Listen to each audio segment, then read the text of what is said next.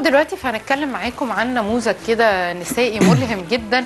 يمكن دايما بنتكلم عن فكرة إنه العمر ده مجرد رقم إنه هي حاجة مش أساسية إنه مفيش حاجة بنوصل عندها لسن معين ونقول خلاص بقى كده أو الوقت عدى أو أنا سني كبر على إن أنا أبدأ من جديد أو إن أنا أبدأ أدخل في حاجة جديدة. ولكن السيدة اللي معانا النهاردة هي بتثبت عكس الكلام ده كله. هي أماني ربيع هي أم وجدة.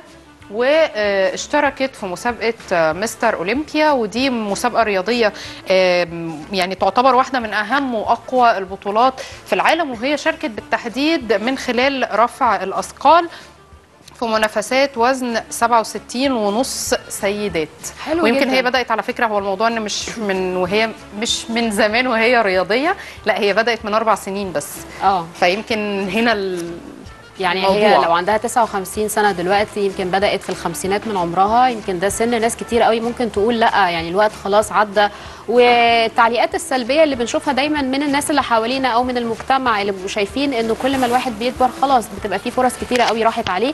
لكن هي بتثبت لنا إنه لأ العمر فعلا مجرد رقم وإحنا اتكلمنا كتير قوي في الموضوع ده في inbox يمكن كمان أماني ربيع مش أول مرة ي- تاخد بطولات ولا تشارك في بطولات مهمة زي دي لكن هي كمان شاركت في نفس البطولة سنة 2019 وحققت وقتها ميداليتين واحدة ذهبية والثانيه برونزية وحققت حوالي 40 ميدالية ذهبية على مستوى منافسات الجمهورية وسبع ميداليات ذهبية على مستوى البطولات العربية. يعني نموذج هايل جدا بصراحة نموذج. نسائي عظيم. ده حقيقي. فعلا آه، برضو ممكن تلاقي مثلا حد بيوصل للسن آه، 60 أو حاجة تلاقي الناس تقول لك آه، خلاص بقى يلا هو اللي جاي قد اللي رايح. آه، طب يلا دي مسك الختام وهيبدأ إن هو يبقى بيتكلم إن هو بقى خلاص عايز يتقاعد عايز بقى يقعد مع أحفاده أو أولاده خلاص وعايز يستمتع بالحياة.